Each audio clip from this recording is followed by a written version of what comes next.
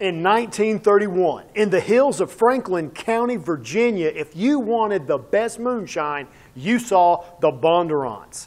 And Lawless, a big time city guy, decides he's going to take over the moonshine operation in those hills, and he learns a hard truth you don't mess with the Bondurants.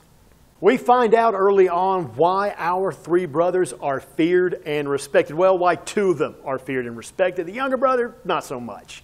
They have been running moonshine in these hills for a long time. It's a family tradition, and they've got ties to big city mafia.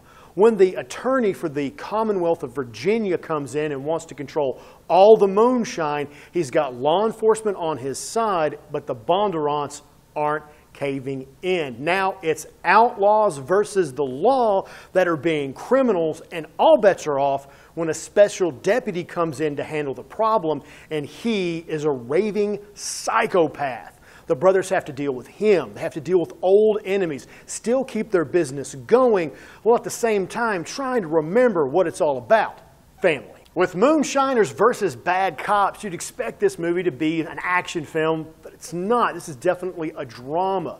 The story is really how this family comes together to survive this situation and remain true to who they are. We also get a story about this younger brother trying to live up to the reputation of his two older brothers that are just epic, not only in their violence, but also in the performances bringing them to life, thanks to Jason Clarke and the always epic himself, Tom Hardy. Shia LaBeouf plays that younger brother, and he's good, but he's just not as good as the guys playing his brothers. The rest of the cast is filled out with some amazing character performances, including Guy Pearce as our big bad guy, and the script falls just in the mode of drama where we get some sudden, violent action, and at the same time, we get deep story, good acting, and compelling drama. Lawless is a nice, layered drama that just is punctuated by moments of sudden violence. It's the story of an outlaw family trying to defend itself against corrupt policemen. You're going to find yourself rooting for the lesser of two evils here and enjoying a pretty damn good movie.